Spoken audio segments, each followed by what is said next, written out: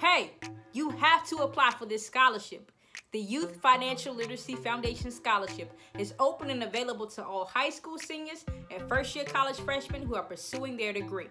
All you have to do is answer 30 multiple choice questions and write a 500 word essay for your chance at winning anywhere between $5,000 and $25,000 in scholarships. This year, the organization is giving away $350,000.